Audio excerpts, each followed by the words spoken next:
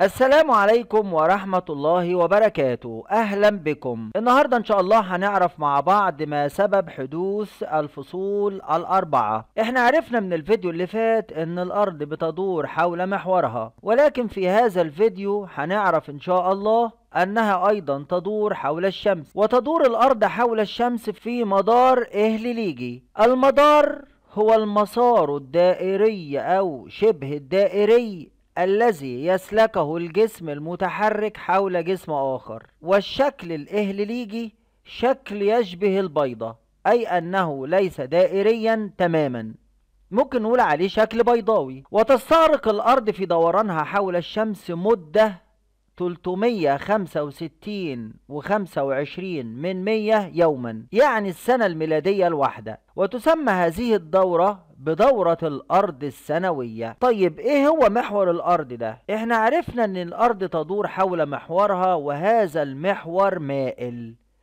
محور الأرض ليس رأسيا وإنما يميل على الرأس بزاوية مقدارها 23 وخمسة من عشرة درجة. ويبقى هذا الميل في الاتجاه نفسه خلال دوران الأرض حول الشمس. وده بيسبب سقوط أشعة الشمس على سطح الأرض بزوايا مختلفة. لذا فإن نصفي الكرة الأرضية الشمالي والجنوبي يستقبل كل منهما ضوء الشمس بكميات مختلفة على الدوام. وده بيسبب إيه بقى حبايبي؟ بيسبب حدوث الفصول الأربعة. يبقى الفصول الأربعة لما يجيلي سؤال يقول لي إيه سببهم هقول له بسبب ميلان محور الأرض بزاوية 23 ونص درجة وبسبب دورانها حول الشمس. يبقى هم دول أسباب حدوث الفصول الأربعة. طيب إيه الفصول الأربعة؟ إحنا عندنا دلوقتي عندما يكون ميل نصف الكرة الشمالي نحو الشمس تزداد شدة الضوء والحرارة الساقطة عليه